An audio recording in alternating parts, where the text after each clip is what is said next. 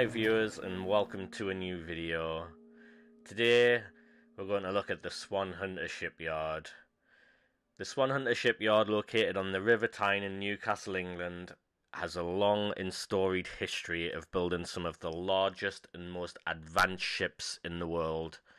The yard was founded in the late 19th century and quickly established itself as a leader in the industry building everything from cargo ships and ferries to naval warships. In the years that followed, the shipyard faced many challenges, including economic downturns and the changing nature of the shipping industry. But the workers at Swan Hunter never gave up and they continued to build ships, including the famous HMS Ark Royal, the largest aircraft carrier in the world at the time. So let's take a look at the rise and fall of one of the greatest shipbuilders in the world.